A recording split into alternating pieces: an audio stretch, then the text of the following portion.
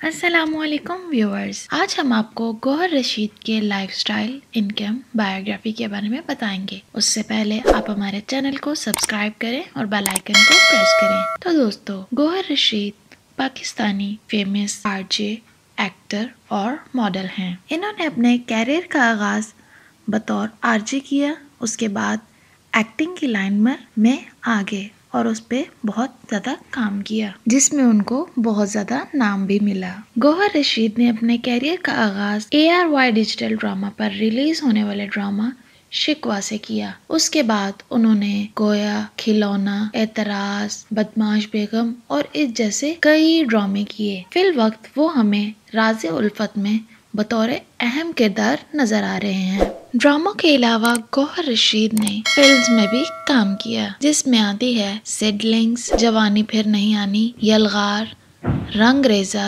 कम्बक और इनकी नेशनैलिटी पाकिस्तानी है। गौहर का रेजिडेंस कराची में है और इनका रिलीजन इस्लाम है। गौहर रशीद की education graduation in amusement media में है, जो कि इन्होंने Beaconhouse national university Lahore से हासिल की। गौहर रशीद की डेट ऑफ़ बर्थ 2 मई 1984 है और इनका बर्थ प्लेस लाहौर है। ये थी हमारी आज की सेलिब्रिटी मजीद इस तरह की सेलिब्रिटी की बायोग्राफी एंड लाइफस्टाइल जानने के लिए आप हमारे चैनल को सब्सक्राइब करें और बेल आइकन को प्रेस करें। शुक्रिया।